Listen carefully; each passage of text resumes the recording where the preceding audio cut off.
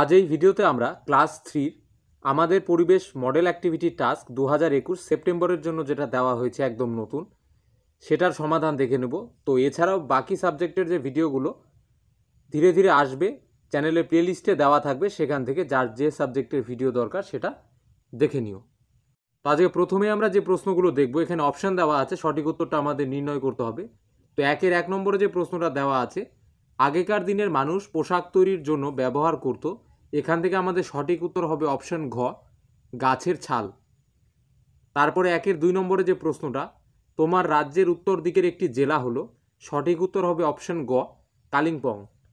এবং একের তিন, এখানে দেওয়া আছে পিনকোড হলো, সঠিক উত্তর হবে অপশন ঘ, পোস্ট অফিসের নম্বর।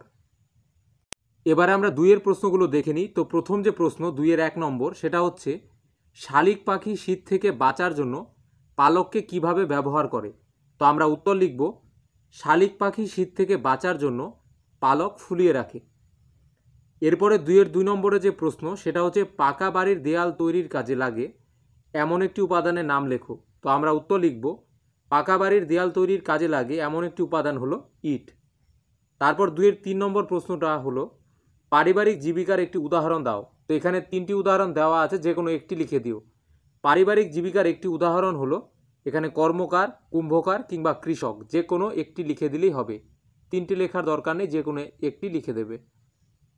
এবারে তিনের প্রশ্নগুলো দেখে নিই। তিনের এক নম্বরের প্রশ্নটি হলো, পোষা গরুদের চটের জামা কেন পরানো হয়?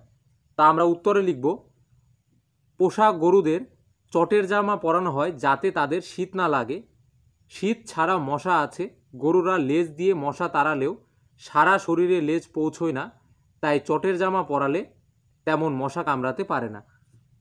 এবারে তিনের দুই নম্বরের প্রশ্নটা দেখে নিই। বলা হয়েছে, ভূমিকম্প প্রবণ অঞ্চলে ইট সিমেন্টের বাড়ির বদলে কাঠের বাড়ি তৈরি করা ভালো। এই বিষয়ে তোমার মতামত লেখো। তো আমরা লিখব, ভূমিকম্প প্রবণ অঞ্চলে ইট সিমেন্টের বাড়ি থাকলে ভূমিকম্পে সেই বাড়ি ফেটে যায় এবং নষ্ট হয়ে যায়। তাই যেখানে বেশি ভূমিকম্প হয় সেখানে কাঠের বাড়ি তৈরি করলে কিছুটা সুবিধা। চালটা টিনের হলে ভালো, সেই কাঠ আর টিন দিয়ে আবার নতুন করে বাড়ি করে নেওয়া যায়। এরপরে লাস্ট প্রশ্নটা দেখে নিই, চারের এক নম্বর প্রশ্ন, সেটা হচ্ছে বাড়ির বিভিন্ন কাজে তোমার পরিবারের অন্য সদস্যদের তুমি কীভাবে সাহায্য করো? তো আমরা উত্তরে লিখব, বাড়ির বিভিন্ন কাজে আমি আমার পরিবারের অন্য সদস্যদের সাহায্য করি। যেমন কেউ খাবার জল চাইলে দিই, কিছু আনার দরকার হলে দোকানে যাই কেউ বাইরে গেলে দরজার ছিটকিনি আটকে দিই, কেউ এলে দরজা খুলে দিই, বাগানের একদিকের গাছে জল দিই, কারোর অসুখ হলে মাথায় জলপটিও দিয়ে দিই।